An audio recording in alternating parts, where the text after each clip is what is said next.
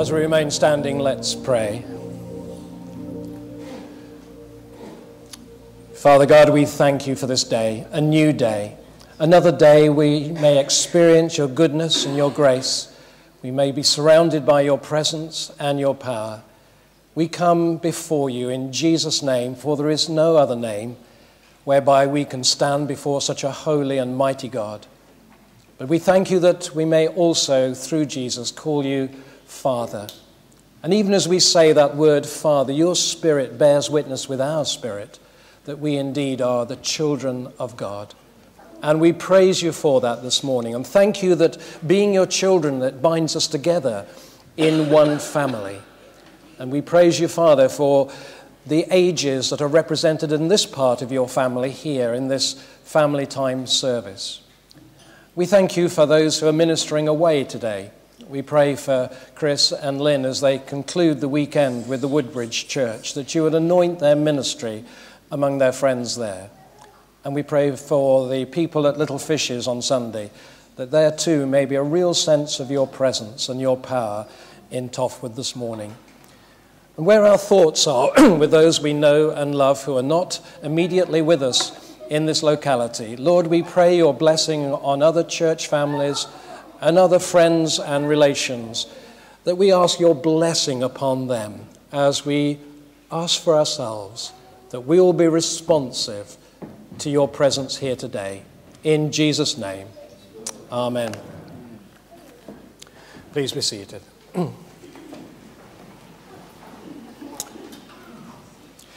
Well, it is a, a family service, and uh, thank you.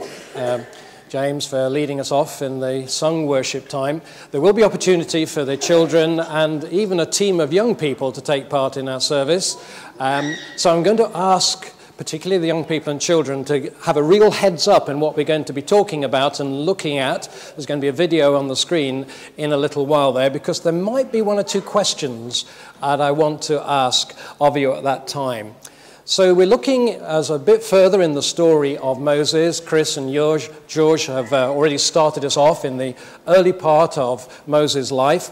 And we're carrying on in chapters 3 and 4 of Exodus, the story of that encounter that God made with Moses at what we call the burning bush, and then some of the excuses. Again, we've heard a little bit about this last week, uh, but some of the excuses that Moses gave why he shouldn't be the person to be sent to be the leader of God's people out of Egypt back into the promised land. So let's get up to date a little bit. And remember, kids and youth, uh, just keep your heads up and listen to what we're saying here. And I think there's going to be, oh, it's up there already, right. So the encounter with God found in uh, Exodus 3 and 4.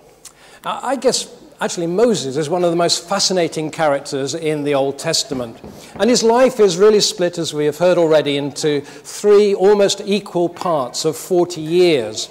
Um, the first part is uh, very specially starts with his miraculous preservation, really, uh, in the River Nile as he was put there and spotted and ended up in the courts of Pharaoh. And for 40 years, he was a prince in Egypt, something very special happened to him. God was in charge of his life, He'd got something marked out for him.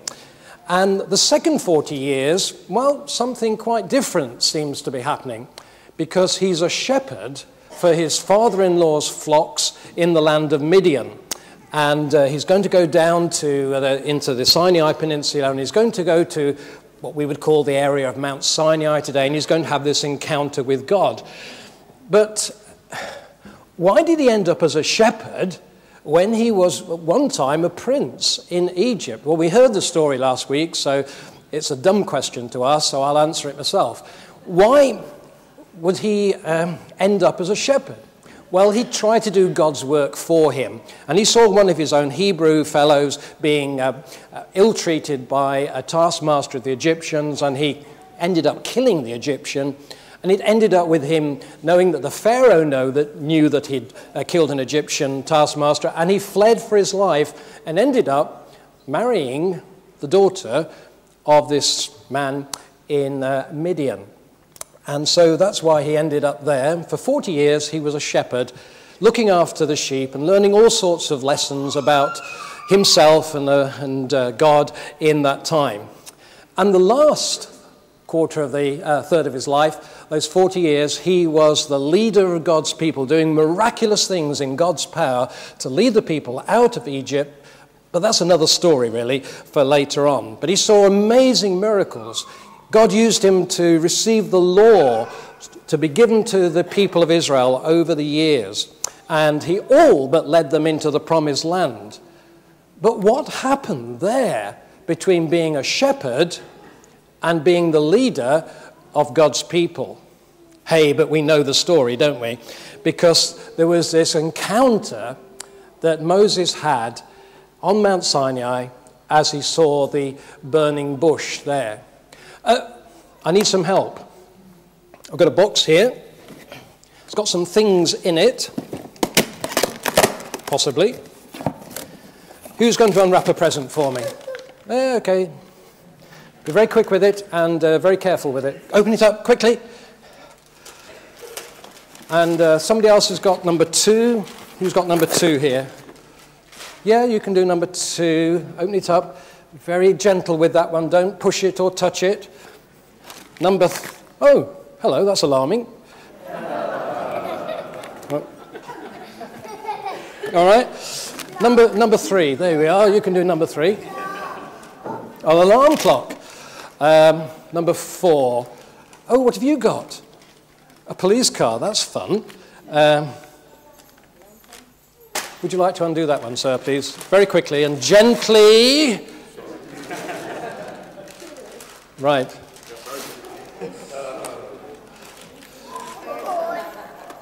Right, so what do we got here? We've got a police car, and we've got a um, light wand, and we've got a horn. Now, what's the same about all these things? What's the, what would all these things do? Make noises, yes? This one, it probably won't. No. It makes an alarm noise. It makes an alarm noise, does it? Yeah, it goes ding! Yeah, but it's not at the moment anyway. It'll probably go off in five minutes' time to tell me to stop. Um, the police car You've got a good head. Yeah, you're a bit noisy though, aren't you? Right. And uh, where's the light wand? Right. This doesn't make a noise, but it's a light, and it's a, but it's also a warning one as well. It flashes, and uh, the last one.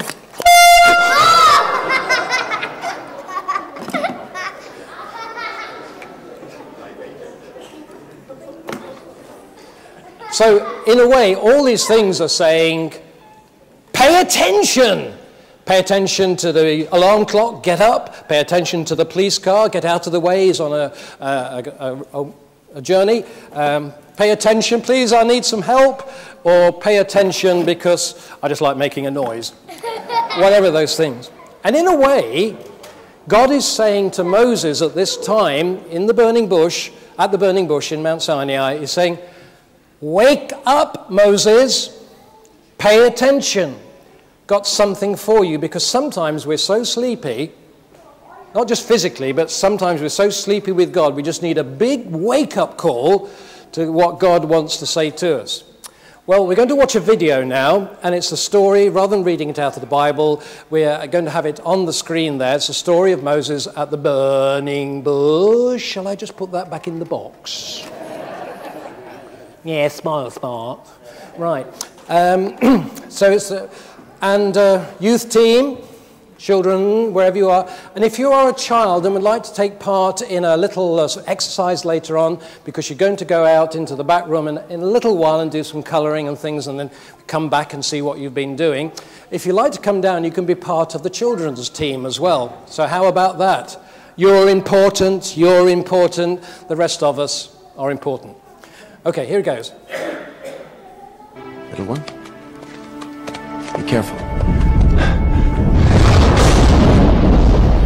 I've never seen anything like that. I've got to take a closer look.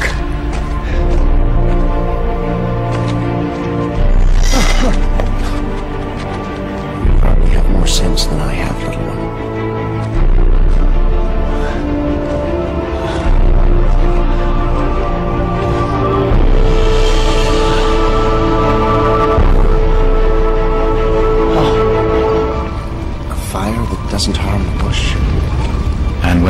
climb to the place, God called to him out of the midst of the fire. Moses. Moses. Moses. I'm here. I'm. I'm. I'm right here. Take off your shoes, for you are standing on holy ground.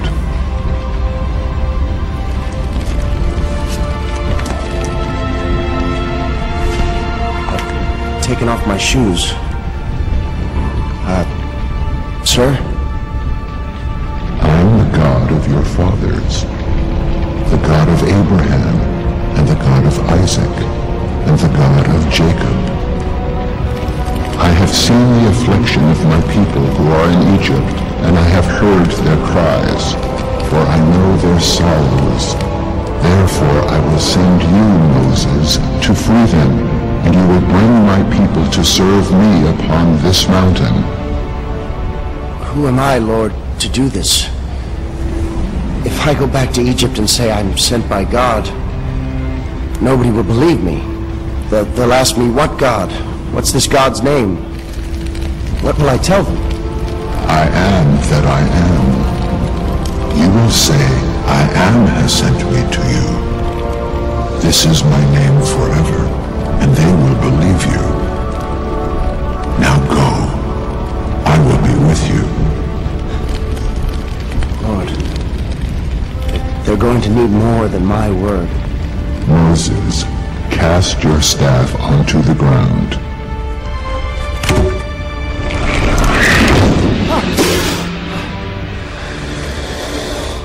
Now pick it up by the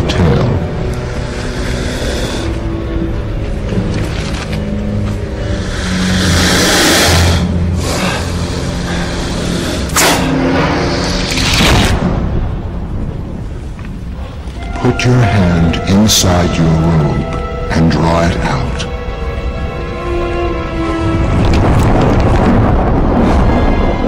My hand, it's diseased. Put your hand back inside your robe and draw it out again.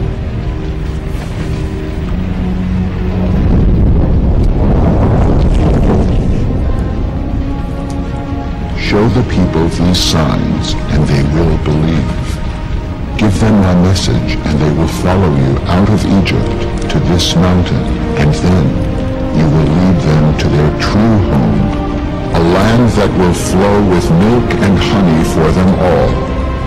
Lord, I trust your judgment, but I'm not that great a speaker. Use your brother Aaron to help you. Do as I have instructed Moses. I will be with you.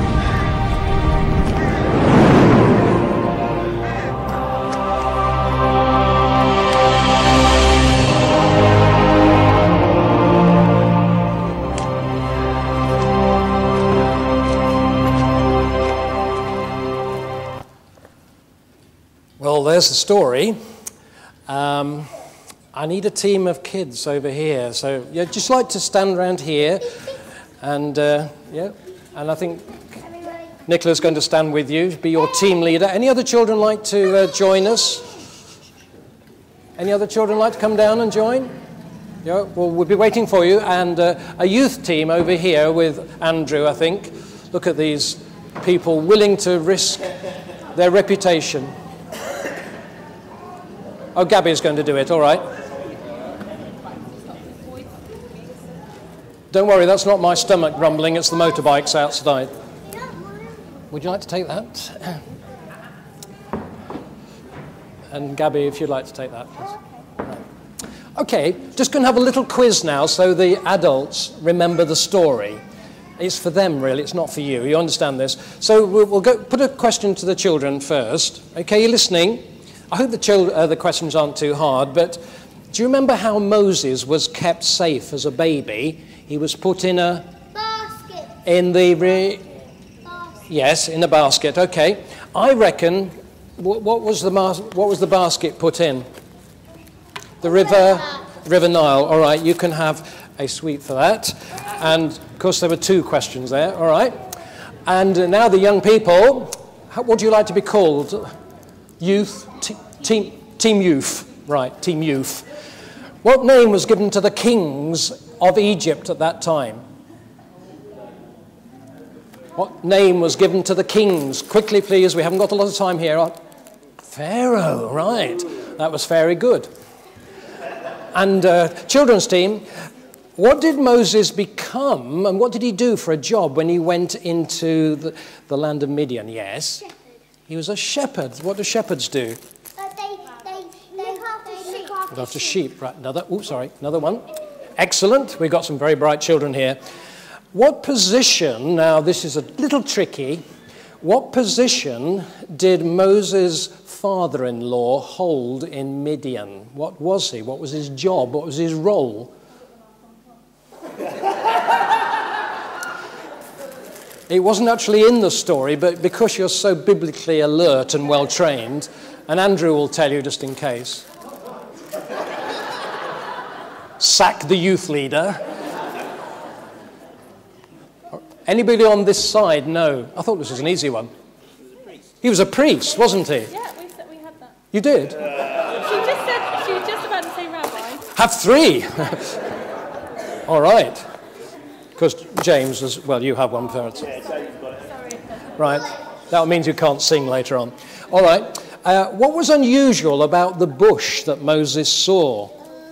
It was on fire, but it wasn't. It wasn't burnt up, was it? Okay.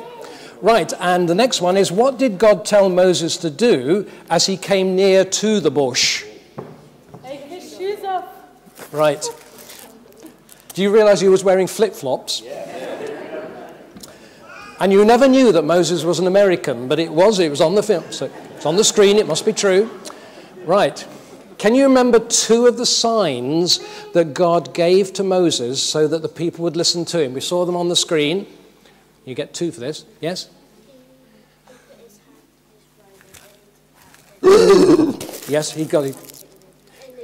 His hand put inside a robe and it went diseased, put it back again, it came clean again. And the other one was the.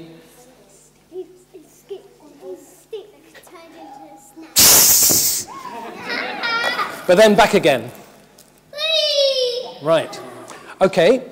Um, and can you give us two of the excuses that Moses made as to why he couldn't do this thing that God told him to do? Yeah, one. I must hurry you up, please. Wasn't a good speaker. Yeah.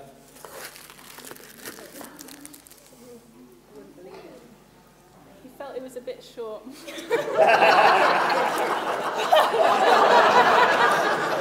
It wasn't as short, it wasn't a good speaker, but it was something else. It it came from over here. They wouldn't believe him. There you are. Right. Let's have a see now. What was the name of Moses' brother who God said would help him speak? Anybody else wants to say? Yes?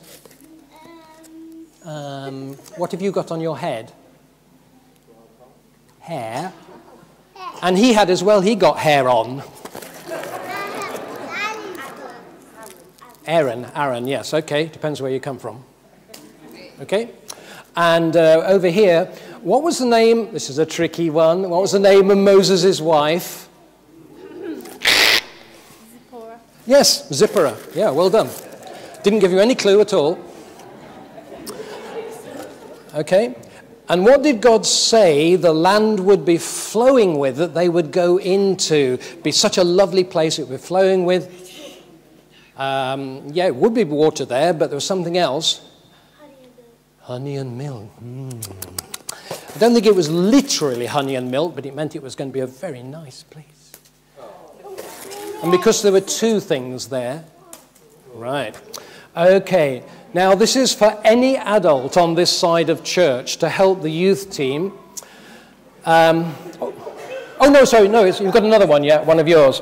What did God say to Moses he would, his name to give to the uh, Israelites in Egypt? He said, You'll be known as I am, will do, that's right. Really Yahweh as well.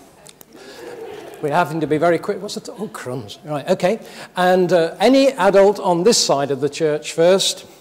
Um, How old was Moses when he died, and where did he die? He was, Alan says 120. All those in favour of 120? And where did he die? On Mount Pisgah or Nebo in the land of Moab. So one for you, and one for you, Alan. Good. And on this side, what was Moses' father's name? Anybody on this side? No, that was his father-in-law, was Jethro. What was his father's name? He thought he was a sheep because he said, My name is Amram. And you can find that in Exodus 6. So you find out, and his mother's name was Jochebed.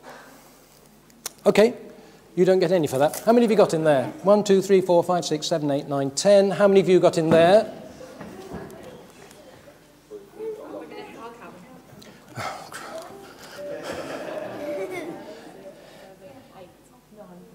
Nine?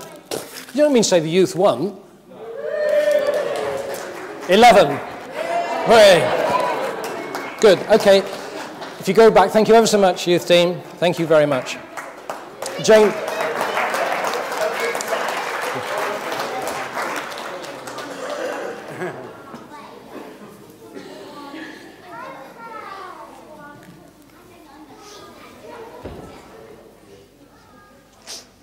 Quick anecdote, which I'm led to believe is a true story. There was a geologist and a priest, and they were having a conversation. Don't worry, it's not a joke. Uh, so it's technically a true story, as I understand it. And the geologist said that um, he's been doing some research, and he's discovered that at the time of the Exodus, the Red Sea was only six inches deep. And uh, the priest suddenly went, Praise the Lord! And the geologist said, Why are you praising God? I've just proved that the Bible is falsified. And the priest said, No, I'm praising the Lord because the entire Egyptian army got swept away in six inches of water. Kids.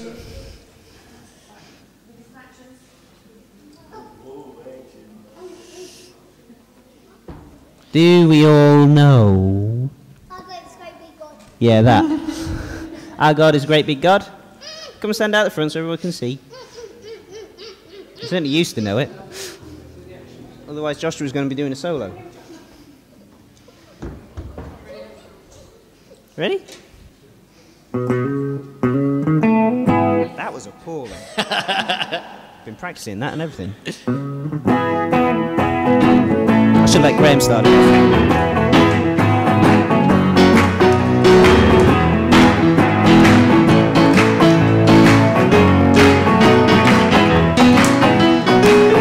Our God is a great big God. Our God is a great big God.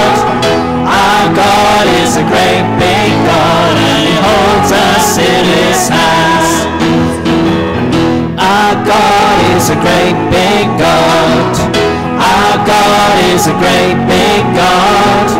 Our God is a great big God, and He holds us in His hands. He's higher than a skyscraper and he's deeper than a submarine. He's wider than the universe and beyond my wildest dreams. And he's known me and loved me since before the world began. How wonderful to be a part of God's amazing plan. Our God is a great big God. Our God is a great big God. Our God is a great big God, and He holds us in His hands. He's higher than a skyscraper, and He's deeper than a submarine. He's wider than the universe and beyond my wildest dreams. And he's known me and he's loved me since before the world began. How wonderful to be a part of God's amazing plan. Our God is a great big God. Our God is a great big God. Our God is a great big God, and He holds us in His hands. And He holds us in His hands. And He holds us in His hands. And He holds us in His hands.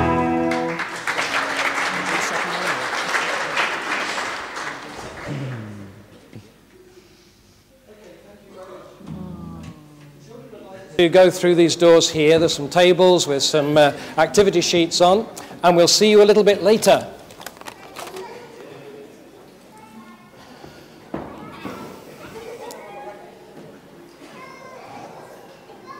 Okay. Well, we're going on now to hear a little bit more of the story. Um, don't think we'll have that again. Just a reminder those three parts of uh, Moses' lifetime, and now his encounter with God and his call by God. You know, I think in a way, when God speaks to us, whenever that is in our life, whether it's reading the Bible, probably sometimes, or whether it's listening to Chris preach up there, or maybe going through the countryside and something really amazing just speaks to us, there's always something going on in our lives that means that we take notice of what God's saying to us as a context of the call. And I think in many ways, what was going on in Moses' life for those 40 years when he was in the wilderness was that he has, his life was shaped by a sense of failure. Why? Well, we know he had tried to uh, help his uh, Hebrew friend by, in effect, killing one of the Egyptian overlords. And he had to run away, uh, away from Egypt. And it, uh, we can't find it here. And uh, that's right, uh, that he, he, ran for his life and he ended up being a, um, what's the word? Um, can't find the actual word I want, um, in uh, Midian. And, uh, excuse me, and there he was in a situation where God spoke to him. And I don't know how you would feel in that situation if your life had been marked by failure, and to some extent, all of us are marked with things that have gone wrong in the past.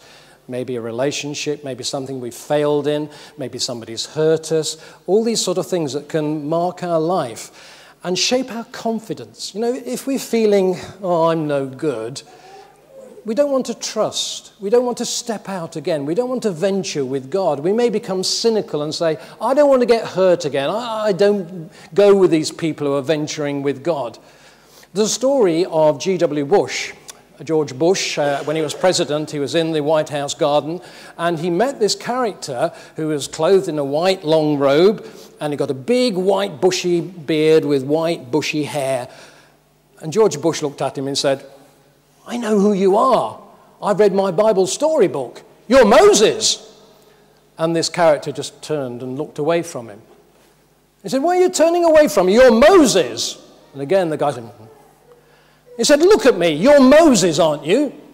And this character said, The last time I spoke to a bush, I ended up 40 years in the desert.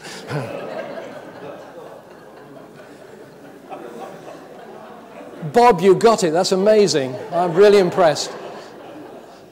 Just take heart, folks. God can speak to anybody.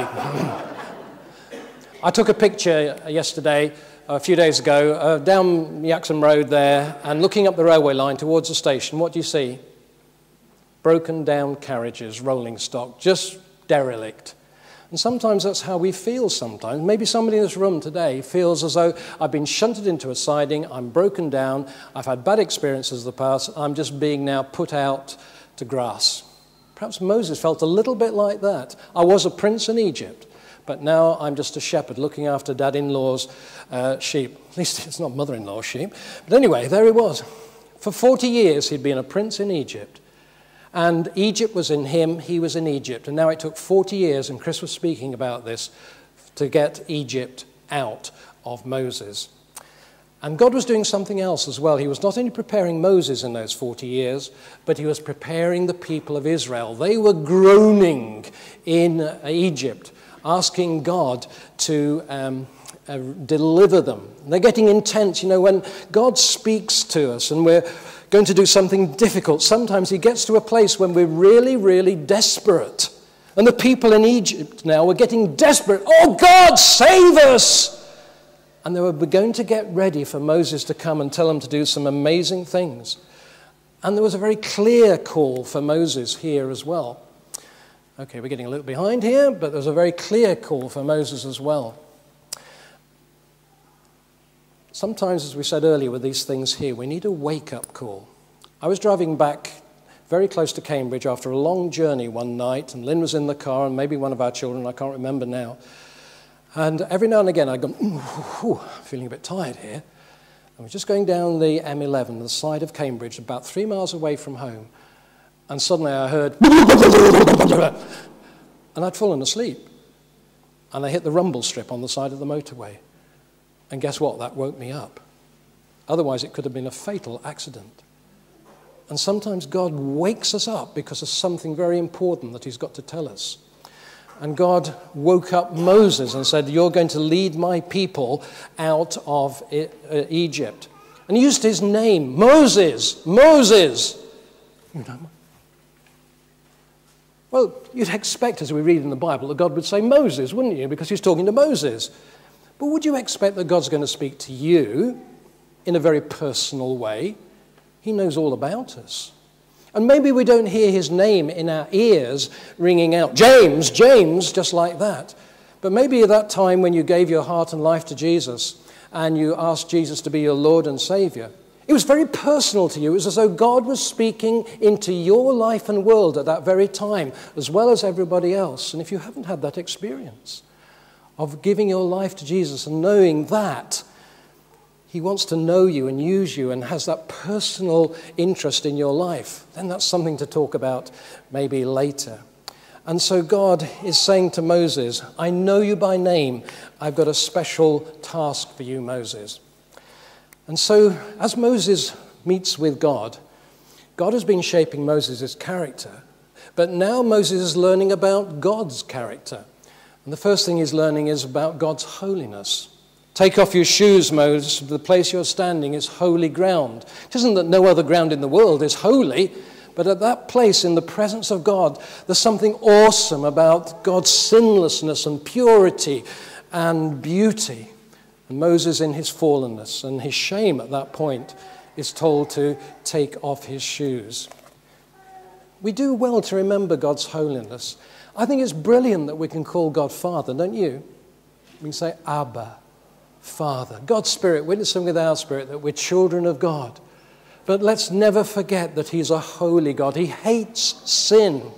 He loves the sinner. We don't play fast and loose with this amazing, glorious God. When I was in Dallas for a year, uh, way back in the 70s, one of the things that impressed me about the family life there was many of the teenage boys, they used to call their father what? Sir. But it was a term full of respect, but full of intimacy. And there's something about that in our relationship with God that Moses needed to learn to have a holy fear of God and yet to be able to love God and have an intimate relationship with Him. He was called the friend of God. So, holding these two things together is so important as we venture with God to recognize His holiness, His sovereignty over us, and yet His closeness to us and His desire to use us as his children. The second thing he had to learn really was that God does care for his people. See, the people in Egypt could have said, Where's God in our lives? We're just being brutally ill treated by the Egyptians. It just seems as though this God who was with our forefathers has left us. And, and, Moses, it seemed, well, he did try and care for us, but he's scarpered. He's been gone for 40 years. Does God care? And we read in Exodus chapter 3, verses 7 to 9 the Lord said to Moses, I have seen the misery of my people. I have heard them crying out because of their slave drivers, and I am concerned about their suffering. So I have come down to rescue them from the hand of the Egyptians and to bring them up out of that land into a good and spacious land, a land flowing with milk and honey. Moses had to learn that God is a compassionate God, He is a faithful God. And perhaps somebody in this congregation this morning is thinking, God's forgotten me. He doesn't care about me and our situation. Look at all the stuff that's been going on in our life, in our family, in our situation. It's rubbish. God doesn't care. To say that He's a faithful, loving God, no, it doesn't work. Look, I just want to remind you God said He came down to the uh, Israelites in Egypt? Has God come down, if I can put it that way, not geographically? Has God come into this world to say, I do care, I do love? This morning, if you're feeling, where is God in my life circumstances? Where is God in all the mess of my life at the moment or my family's life? Just take a look here every now and again. Take a look at this cross and say, and God does not care? For God so loved the world that he gave his only Son, that whoever believes in him should not perish, but have eternal life. And so sometimes in those mysteries of the silences of God in our lives, we just need to hear again what Moses heard I do care. I have seen, I have heard, I'm concerned, I have come to you. This morning, if that's you, just hear it again. Not three and a bit thousand years ago to Moses, but hear it to you. I have seen and heard. I am concerned about you, my child, and I have come to you. Yes, in Jesus 2,000 years ago, but I keep coming to you in Jesus by the Spirit today. If your life is at the bottom of the pit this morning, he says, I do know, I do care. And look at this cross and tell me that God doesn't care. He does. But I can't translate that into your circumstances, and you can't translate it into my circumstances. We have to hold that by faith. The darkness that hides us from God, sorry, God from us, never hides us from God. It may seem dark, but God sees, even when we can't see and understand what He's doing. James, let's have another a song here in response to the holiness of God.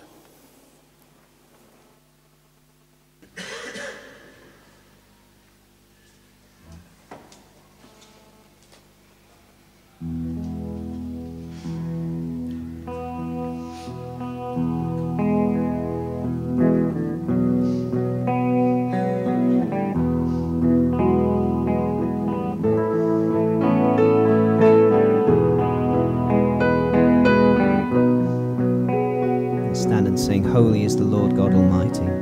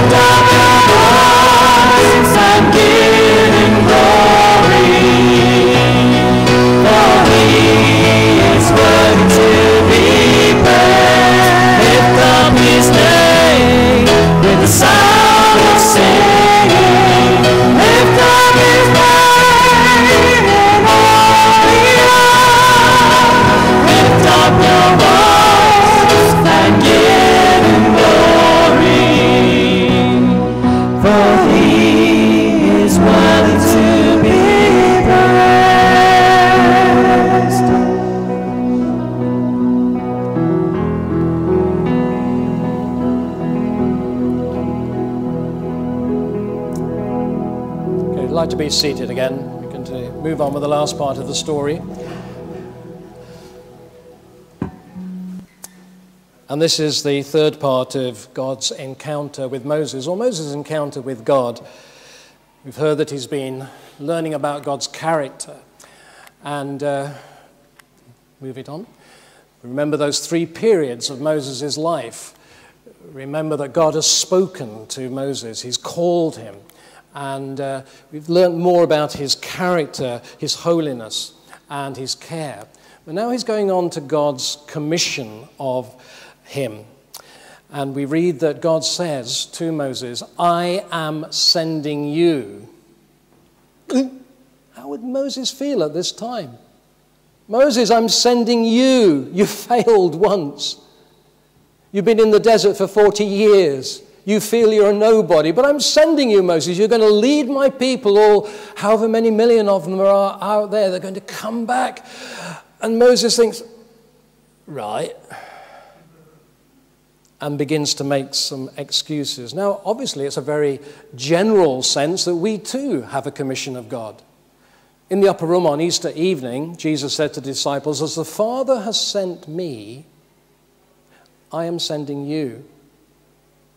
We're not just a people who are following Jesus to be cozy, to come to church uh, on a Sunday, or to just believe certain things. We are a sent people. And to play on words, we are a people with scent, with an aroma of Jesus around us. We're a people that God wants to use, whether we're young or old. Chris said probably it starts at 80, you know, that, or at least in the last bit of your life. But it's any period of our life, whether we're a young person, middle age, whatever it is. God says, I want to use you. That's the reason I called you to be my own, to be a child who's part of my kingdom, to be spread something of kingdom life into the world where I've placed you. And only you can do it. But we, like Moses, will going to struggle sometimes and put excuses up as Moses did. And the first excuse was, uh, Who am I, Lord? really, Moses doesn't, uh, God doesn't even answer the question. It's the wrong question.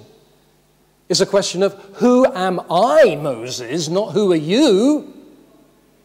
And he says, What you need to learn, Moses, is like two sides of a coin. You feel you may have failed on one sense, that you're nothing, you're a nobody. But I am with you. And so the greater message is that I am with you in your weakness, in your brokenness, and I'm sending you, and I'm going with you in that. When you woke up this morning, when I woke up this morning, did I feel God is with me, or did I feel, oh, where's a cup of coffee? And as we go in our daily work, or maybe something specific that God has called us to, in our scary moments, God says, I am with you. I'm with you always. I'll never leave you nor forsake you there. Some verses are very precious to us. I remember going through quite a difficult time some years ago in a church we were in then. And a dear lady friend of Lynn's was speaking to us and encouraging to us. And she said, Lance, I want you to hear this verse from Isaiah chapter 41, verse 10. So do not fear, God said to, um, to the people of Israel through Isaiah, for I am with you. Do not be dismayed, for I am your God. I will strengthen you and help you. I will uphold you with my victorious or righteous right hand. You see, the thing isn't, who am I? That's what Moses felt. Who am I? It's who is God? How big is our God? We've been singing about it. So the excuse that Moses first put up was countered by God saying, I'm going to be with you, Moses. It's about me, not you. But then, quite rightly, Moses then says, Well, well what name shall I give to the people in Egypt? saying, Who's spoken to me? And God says, I am who I am. I will be who I will be. And this name of I am is a name, obviously, that Jesus also took later on. I am the way, the truth, and the life. The seven I ams, this special name. The word Yahweh, that became the sort of name of God that the Israelites feared to utter, sounds like the verb to be. I am who I am, or I will be who I will be. But the Israelites were so afraid of mentioning the name of God that they put the vowel sounds of another word meaning Lord, Adonai, into the to become Jehovah. So they wouldn't use the word Yahweh. They would say Jehovah instead in case they were taking it in vain. But it means basically God says, I will. If I say something, I will. I am. I am the one who acts out of my own authority and power. If I say something, it will happen. In these verses in Exodus 3 and 4, you will worship me again on this mountain. The elders will listen to you. I will stretch out my hand. I will help you. So God says to Moses at this time, I am who I am. And if God says something, he means it. We were at a Thanksgiving service yesterday for a dear friend who died some little while ago now. And I was thinking those verses when Jesus speaks in the upper room to the disciples in John chapter 14.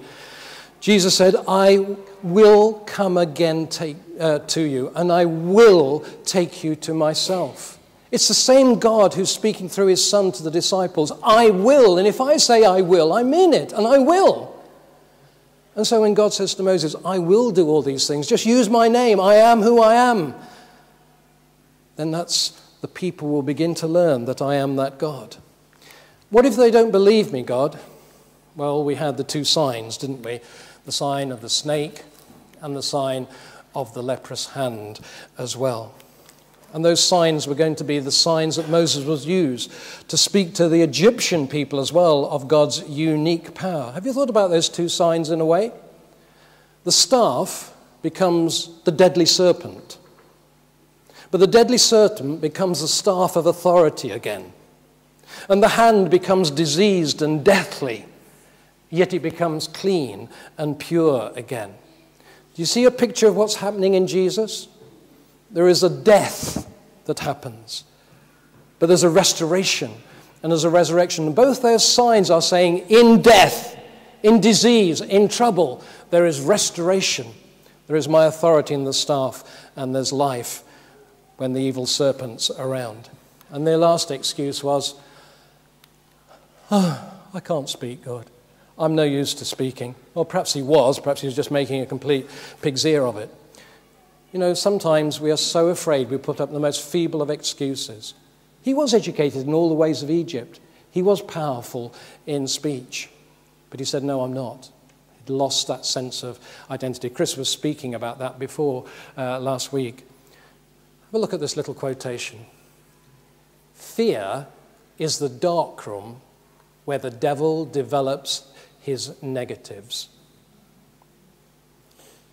the negatives of I can't, I'm no good, I can't speak.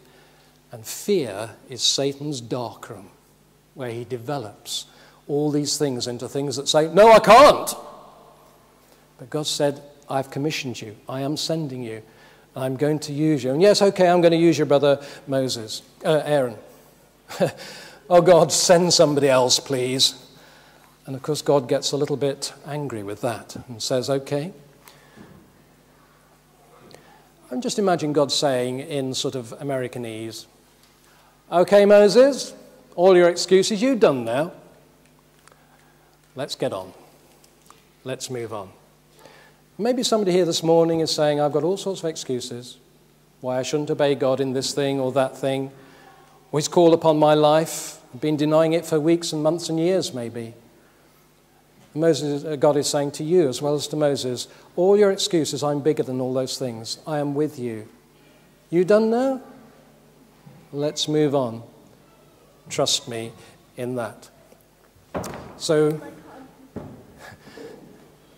just a reminder that really it's when things move from head to heart, when things move from theory into practice when things move from just memories into a message, that things really begin to take shape in relationship with God. And that's what he's speaking to us about this morning. He says, I have called you. He says, Wake up and listen. I want to use you. He's speaking to us about his character. We do serve a holy God, but he's a God who cares for us. And he says, I am commissioning you. I'm going ahead of you. Let me just put this last slide up. That's a picture of the Kohinoor diamond. It was given to Queen Victoria by an Indian prince when he was a child. Some years later, he visited the Queen again, and the Queen said, Can I do something for you? And he said, You know that diamond I gave you when I was a boy? Can I have it back, please? Probably that's why Queen was not amused. And anyway, the Queen gave, got the diamond and gave it back to him. And then the young prince said, Now that I am a man, however, and have met you, and have become aware of the value of this stone, I wish to give it to you again. Please accept it again as a token of my loyal esteem for you. Maybe this morning it's a time for you to say to God again, maybe my ventures with you in the past were a little bit ill formed, a little bit weak, and I didn't really understand what you were saying to me, but today I want to say, Lord, I am yours. Please use me for whatever you want in these coming hours and days and weeks. And then, like Moses, it's not going to be a burning bush, but it's an encounter with the living God. How good is that going to be?